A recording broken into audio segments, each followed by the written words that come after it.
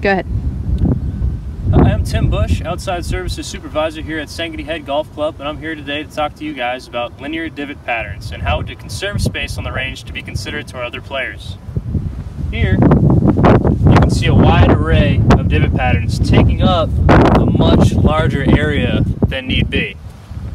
Here is the linear divot pattern, where we like to make stripes, tight stripes, with a small gap of grass in between these lines.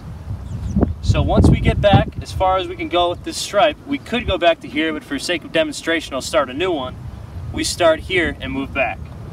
Line our ball up in line with our stripe, little gap of grass in between.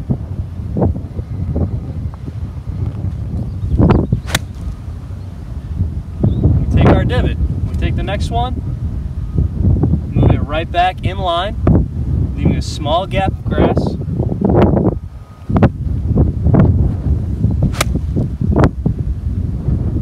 Our next divot.